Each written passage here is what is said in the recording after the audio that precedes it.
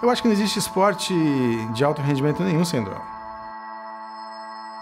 Ganha o cara que está mais preparado e o cara que tolera mais a dor.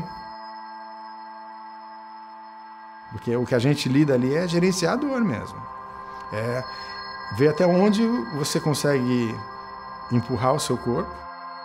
E se você preparou ele bem, ele vai fazer isso mais rápido, melhor, mais eficientemente.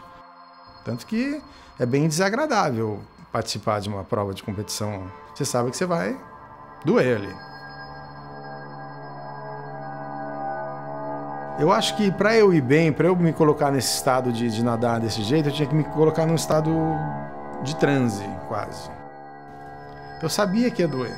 Né? Então, é, como é que você fica quando você sabe que você vai apanhar? Eu tinha plena consciência do que isso tudo significava.